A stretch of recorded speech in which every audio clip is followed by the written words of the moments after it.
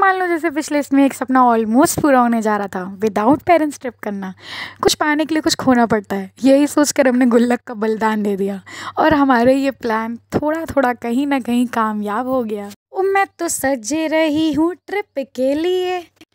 मैं अपने कैमरे को कष्ट देकर निकल पड़ी हूँ ट्रेन के लिए, पर यहाँ ट्रेन ने मुझे कष्ट देने का फ़ैसला कर लिया है। मेरी ट्रेन तीन घंटा लेट है। मैंने अपने कैमरे को कष्ट देकर दोबारा फ़ोटो वीडियो लेना स्टार्ट कर दिया है। तो हम पहुँच चुके हैं हरिद्वार और अब हम घर पे कौआ स्नान ना करते हुए गंगा स्नान की तरफ़ प्रस्थान कर रहे हैं।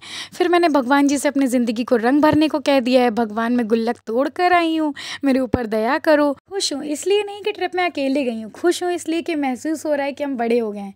ज़िम्मेदारियाँ समझ में आ गई हैं। पैसे कब कहाँ कितने निकालना है? समझ में आ रहा है। होटल में कहाँ कैसे रहना है? खुद को बच्चा कहना बंद करना है। किसी के लिए रो रो कर अब खुद को हंसाना है, बेफिक्र रहना है, जिन्हें परवाह है उनके साथ रहना है और जिन्हें नहीं भी है भाड़ में जाओ। आगे की बातें बाद में करते हैं नेक्स्ट ब्लॉग में। तो स्टे स्माइल गाइज़ बाई